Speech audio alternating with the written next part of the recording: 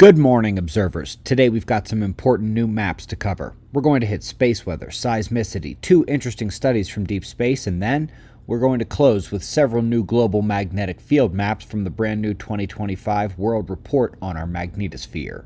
But we're starting with the last 24 hours on our star, and we find things were mostly quiet.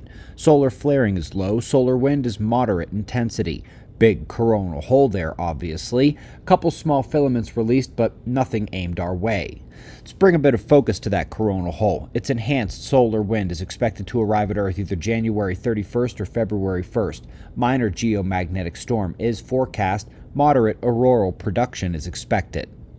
Sunspots are returning. Yesterday we came close to a blank disk, but the next set of umbral cores turned into view. Eyes on the left side, the incoming limb for flaring activity today and then we go from flaring to earthquakes, where we're focused on the Ethiopian swarm with a bit of good news. After a flurry of over 190 earthquakes in 27 days, we've had only one in the last four. Hopefully, the East African rift is settling back down now.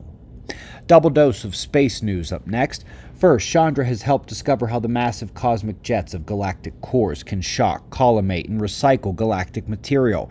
This is official confirmation of the inflow outflow paradigm of galactic evolution. Up next, we find that a supremely powerful explosion created absolutely zero radio waves. It's not supposed to be anywhere close to possible, like a nuclear bomb with no visible light. They think it may be a brand new, undiscovered kind of explosion in space. And finally, folks, here's the new full magnetic declination map. North Pole top right, still sliding towards Siberia. South Pole just below Australia there, heading to the north northwest. Follow the green lines from those magnetic poles, the null lines, and they meet at Sumatra, exactly where we've discussed them being on track to meet. Up next, look at the total field intensity. We have peaks near the magnetic poles, and on the opposite side of the Earth, the South Atlantic anomaly, we have the weakest point. But it was not the portion of Earth that weakened most over the last five years. While the South Atlantic anomaly and the South Pacific both dropped, the United States actually saw the biggest drop in magnetic field protection. Happens to be along the green line, the zero line cutting through the country here too. Come learn about the ongoing magnetic pole shift at one of our conferences or our major events in the April May transition. Head to observerranch.com, check out the events page, check out the store, book your time to come out and see us in person. That's observerranch.com.